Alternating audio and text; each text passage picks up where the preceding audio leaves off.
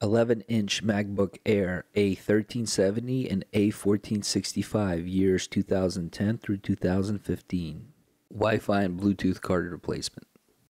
Make sure that the Mac is completely powered off, close the lid, and flip it over. We're going to need a proprietary Apple's star shaped pentalobe screwdriver bit. Start in the top left and remove the short screw. The next two screws are slightly longer. Keep an eye on that. And then the remaining seven screws are all short.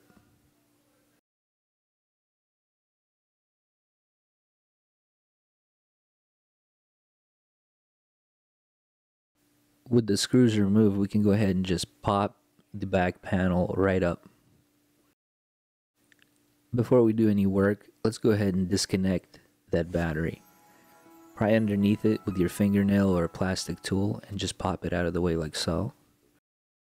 The Wi-Fi Bluetooth card is connected with two antennas that run underneath the logic board. Go ahead and disconnect them and remove the 1T5 screw.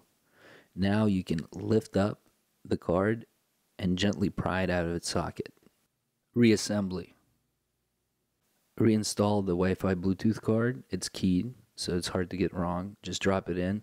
Reinstall back that little black screw retainer and put back the T5 screw. Reconnect the Bluetooth and Wi-Fi antennas.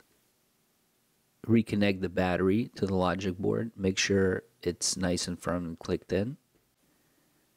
We can now place back the cover, align it, and give it a nice firm push.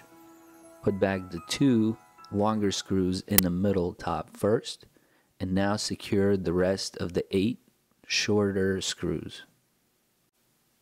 Thank you for watching. Help support this channel by subscribing.